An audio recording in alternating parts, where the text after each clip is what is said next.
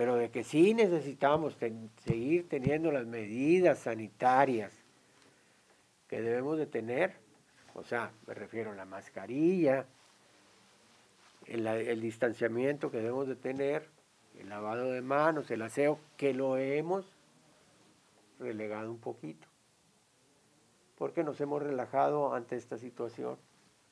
Si ustedes observan, el año pasado no tuvimos tantos casos de influenza, ¿verdad? ¿Por qué? Porque teníamos el cubrebocas y le teníamos un pánico tremendo al COVID.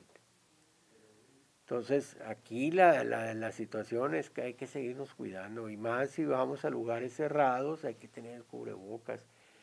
Yo me, me ha tocado ver gente que se está peleando las entradas, tanto de hospitales como de, de lugares de conveniencia, de tiendas de conveniencia, que no quieren usar el cubrebocas, que porque por ley ya es opcional. Sí, yo voy de acuerdo. Pues si vas a un lugar cerrado, ponte el cubrebocas.